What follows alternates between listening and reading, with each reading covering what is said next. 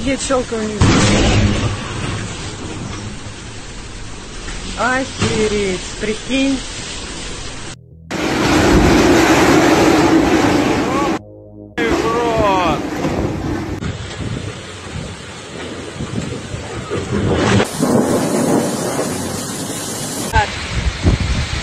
Прям ураган какой-то.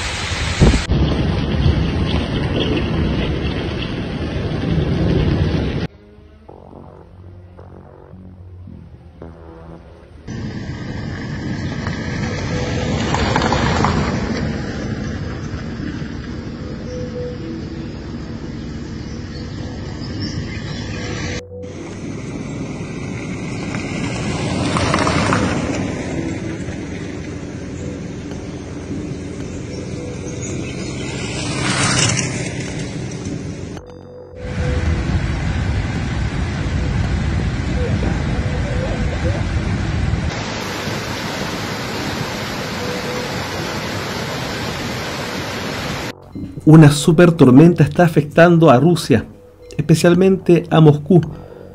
Calles inundadas, varios destrozos, además de una intensa ola de calor. La tormenta con fuertes lluvias está causando inundaciones, los rayos han caído en algunos sectores causando incendios. A través de las redes sociales se pueden ver las calles inundadas.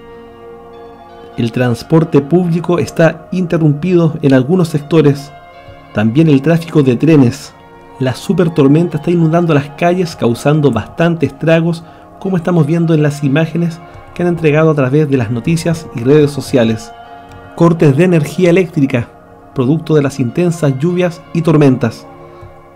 Los servicios de emergencia en Moscú se encuentran en la alerta máxima. Varios vehículos especiales han trabajado en las calles de la ciudad para poder así ayudar a las personas Luego de registrar temperaturas récord, se espera que la tormenta continúe. Así están las calles bastante inundadas en Moscú, Rusia. Producto de la intensa ola de calor, varias personas incluso aprovecharon de bañarse en las aguas en las calles inundadas para refrescarse, ya que el calor estaba insoportable. Pasando a otra información en Costa Rica, una erupción del volcán Rincón de la Vieja provoca una columna de humo de 2 kilómetros. Se trata de una de las erupciones más potentes del volcán Rincón de la Vieja, enorme explosión ocurrida en la zona de Guanacaste, al noroeste del país. La erupción duró aproximadamente 3 minutos, fue registrada a las 5.42 minutos horario local, según informa el Observatorio Vulcanológico y Sismológico de Costa Rica. Se reportó caída de ceniza y olor a azufre al norte y noreste del volcán. Se trataría de una erupción freática que ocurre cuando hay interacción entre el agua y el magma.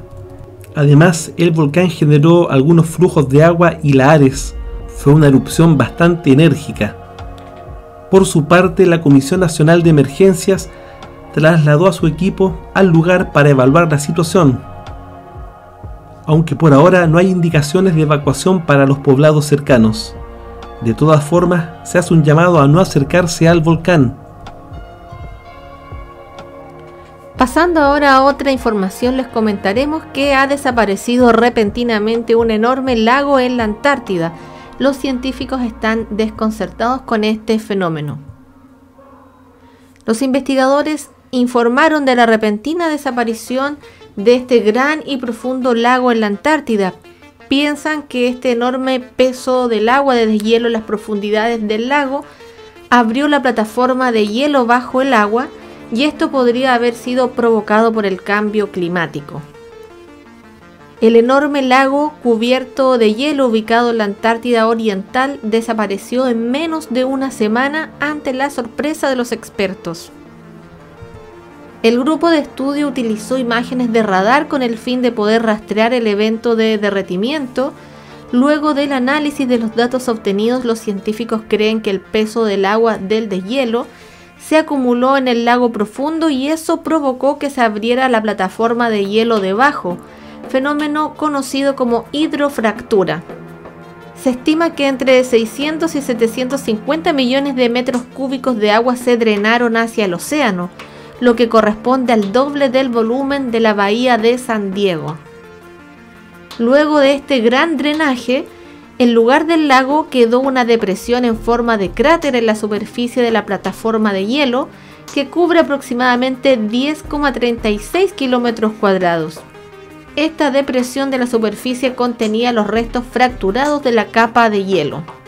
El autor del estudio, Roland Warner, glaciólogo de la Universidad de Tasmania, dijo que piensan que el peso del agua acumulada en el lago profundo abrió una fisura en la plataforma de hielo debajo del lago, proceso conocido como hidrofractura, lo que hace que el agua drene hacia el océano.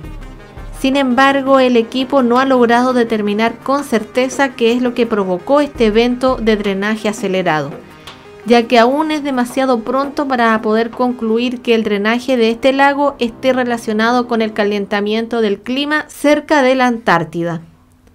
No obstante, es sabido que el aumento de las temperaturas del aire es capaz de derretir las plataformas de hielo, lo que aumenta el riesgo de hidrofractura generalizada.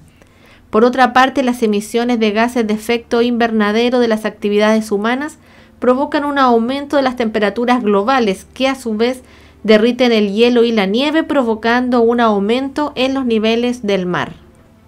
Cambiando ahora de información, les recordamos que hace unos días atrás les comentamos acerca de este misterioso cometa o planeta que venía acercándose a nuestro sistema solar.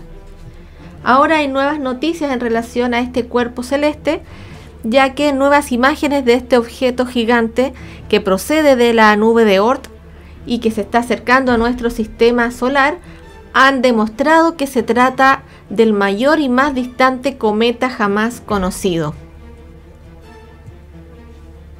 Astrónomos utilizaron la red del observatorio Las Cumbres, realizaron nuevas observaciones del 2014 UN-271 o cometa Bernardinelli-Bernstein en honor a sus descubridores, que revelan que ha crecido su coma durante los últimos tres años, convirtiéndolo oficialmente en un cometa.